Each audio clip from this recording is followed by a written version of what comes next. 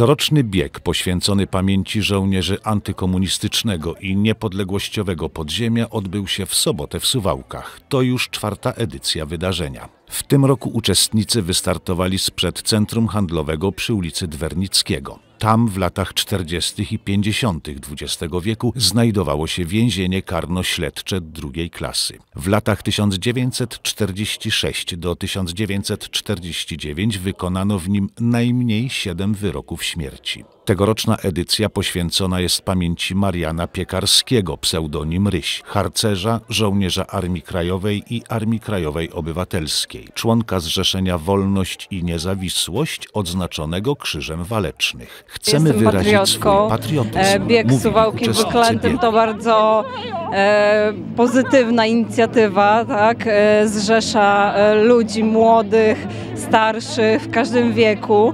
Także e, na sportowo przede wszystkim. Świetna inicjatywa, spaja społeczeństwo, przede wszystkim też e, uczy pięknych wartości. E, dzisiaj e, bieg wyklętych. Fajnie, że po tylu latach można upamiętniać osoby, które walczyły o naszą niepodległość.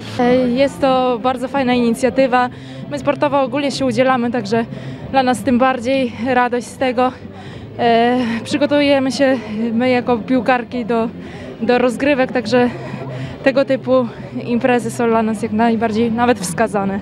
Wszyscy uczestnicy biegu otrzymali okazjonalne koszulki i pamiątkowe medale. Organizatorem biegu było Stowarzyszenie Kibiców Wigier Suwałki, a partnerami miasto Suwałki, Osir w Suwałkach oraz Związek Pamięci Ofiar Obławy Augustowskiej 1945.